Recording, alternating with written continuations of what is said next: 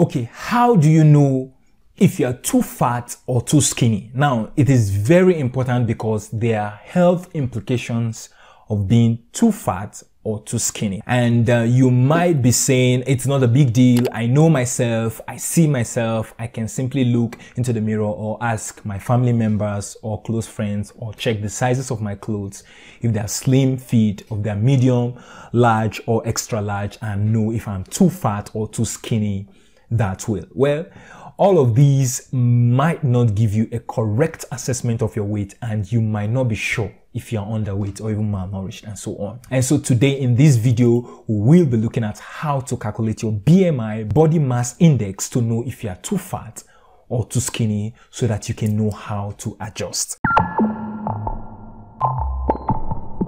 Hello, my name is Dr. Malik Haruna King and on this YouTube channel, I supply you with practical tips to help you stay healthy, fit and happy and improve your personal performance and workplace productivity. And so if today is your first time here, consider hitting the subscribe button and turn on the notification icon so you will be the first to get my videos. Now, apart from what we have mentioned, we need a standard way of measuring your weight to know if you are too fat or too skinny. And another problem is fat or slim means different things to different people in different culture. So we need something that is objective.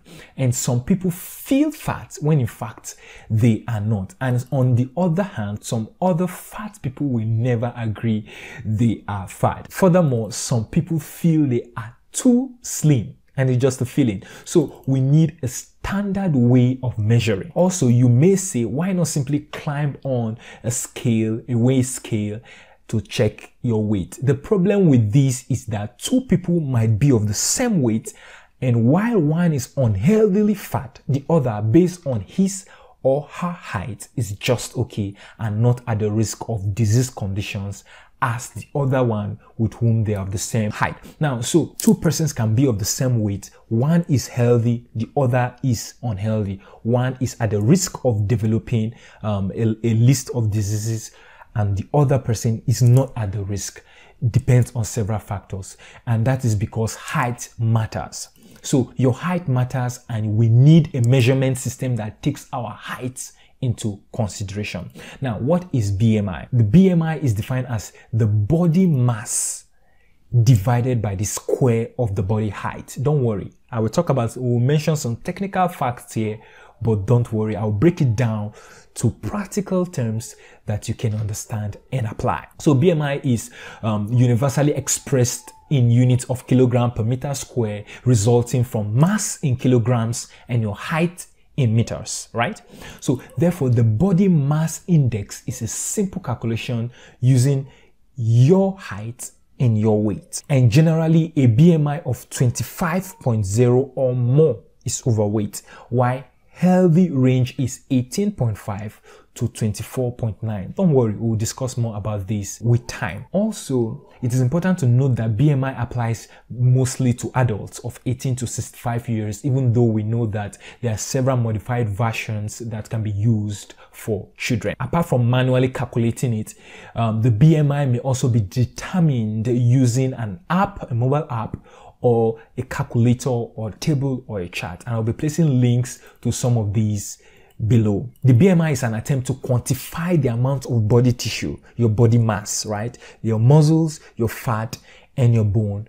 And here are the commonly accepted ranges for BMI. So if you are 18.5, you're underweight. If you are 18.5 to 24.9, you are in the normal range.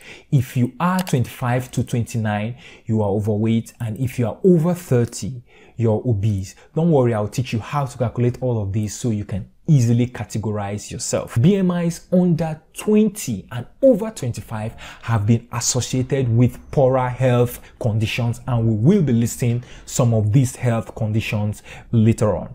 Now, however, it is important to note that this categorization is the subject of some debates and granted there are some limitations with using BMI and we will discuss these limitations. So what are the consequences of having a high BMI? What are the consequences of elevated levels of BMI in adults? The BMI ranges are based on the relationship between body weight and disease and death. So it means by implication that your body weight can determine how predisposed you are to disease and even to death. A very low BMI can cause health problems, including bone loss, decreased immune function, and anemia. And overweight and obese individuals are higher risk of developing diseases like coronary artery disease, dyslipidemia, type 2 diabetes, gallbladder disease, hypertension, osteoarthritis, sleep apnea and sleep disorders, stroke, and at least 10 cancers, including endometrial cancer, breast cancer, and colon cancer. Now, among people who have never smoked, being overweight or being obese is associated with 51% increase in mortality. That's poorer health conditions compared with people who have always been of normal weight. So you see, being overweight, being underweight, or being obese is associated with increased risk of having poorer health. A new study, however, indicates that body fat, not BMI, body fat is more associated with some of the conditions we've listed above and I'll be placing a link to that study in the description section below. Now, you can lower your body fat and get to a healthier weight by exercising regularly. And apart from that, you should follow some certain healthy diet habits such as eating only when you're hungry, eating mindfully. When you're eating, you are fully conscious, you're mindful, and choosing a diet that is rich in whole unprocessed foods and also doing intermittent fasting. Now, by the way, I'll be placing a link to an extensive video I did on intermittent fasting in the description section below. You may also benefit from nutritional counseling. A dietitian can teach you which foods to eat and how much food you should eat in order to lose weight. Now, just as a high BMI can cause health problems, so can a very low BMI. Having a low BMI or lacking sufficient body fat may lead to bone loss, decreased immune function, heart problems, iron deficiency anemia. So if you have a low BMI, discuss your weight with your doctor and if needed, increasing the amount of the food you eat each day or reducing the amount of fat burning exercise you do can help you to gain weight. And I did an extensive video on how to gain weight in a healthy way and I'll be placing the link to the video in the description section below. A dietitian can also help you learn how to gain weight in a healthy way. So let's look at some of the limitations of BMI. Now, the major limitation is that it does not differentiate between muscle mass and fat mass. So it doesn't differentiate if your weight is due to high muscle mass or high fat mass. And we know that muscle mass is healthy while fat mass is unhealthy. BMI also ignores variation in physical characteristics. Now, while BMI can be useful in screening children and adults for body weight problems, it does have its limits and that's what we're talking about. Now BMI may overestimate the amount of body fat in athletes and other people who have muscular bodies. It may also underestimate the amount of body fat in older adults and other people who have lost muscle mass. Now, don't worry so much about some of this terminology, but you shouldn't use BMI or BMI calculator if you are a muscle builder, if you're a long distance athlete, if you're a pregnant woman, if you're elderly or you're a young child. Now, this is because the BMI does not take account of whether the as if the weight is due to muscle or fat, as we earlier mentioned. Those with a higher muscle mass, such as athletes, may have high BMI, but they may not have the corresponding greater health risks that is associated with high BMI. I hope it's understood. So if you are pregnant, you are athlete, you're muscular, you are young, or you're elderly, your BMI may not give correct picture of the health risk. Those with a lower muscle mass, such as children who have not completed their growth, or elderly who may be losing some muscles, may have low BMI. During pregnancy and lactation, a woman's body composition changes rapidly and so using BMI is also not appropriate. And we have alternatives like the waist circumference like waist to height ratio and waist to hip ratio and things like the modified body mass index and others. You could try any of those. How to calculate your BMI. The BMI is a mathematical calculation and it is very simple to calculate. And even if you are poor in mathematics, don't worry. I have a way to help you. Basically, your BMI is your weight divided by the square of your height. It is that simple. So number one, step number one, measure your weight in kilograms, not in pounds or any other unit. Number two, measure your height in meters, not in feet or any other unit. Number three, now the height you got in step two should be squared you square your height by multiplying your height by itself. Then step number four, you divide your weight from step number one by your the square of your height you got from step number three. I hope you understand. Now, what if your measurements are in pounds and in feet? It's simple. You have to convert it to kilograms and meters first. Now, let's do it. You first you multiply your weight in pounds by 0.45. That's the metric conversion factor for weight.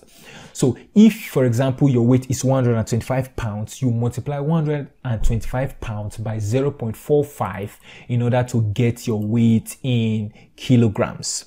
That's number one. That's you determine your weight in kilograms. Number two, you determine your height in meters. So you multiply the height you have in inches and feet by 0.025. That is the metric conversion for height. So for example, if your height is 5 feet 3 inches, you multiply it by 0.025 to get your height in meters. So your first step is to get your weight in kg in kilograms and your second step is to get your height in meters. The third step is to square your height.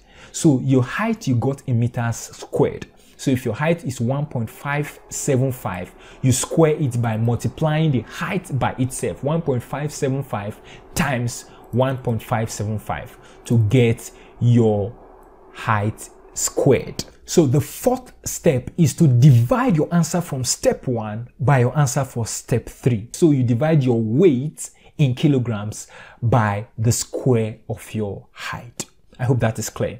If you get that, then you have to, like for example, for this calculation, this example we did, the BMI is 22.7. So using your, the calculated BMI, you now compared with the standard to know if you are underweight, if you are normal weight, or if you are overweight or obese. So you use your calculated BMI to know where you fall to, in order to know if you're underweight, normal weight, overweight, obese, so that you can adjust appropriately because we've mentioned some of the health risks that are associated with being underweight, being overweight, or being obese. I hope that is clear. So now it's your turn. Try it out, take your measurements and calculate using the formula of height of weight divided by height squared. Or if you're still confused you could use online calculators and charts. Yes. Take charge of your health and happiness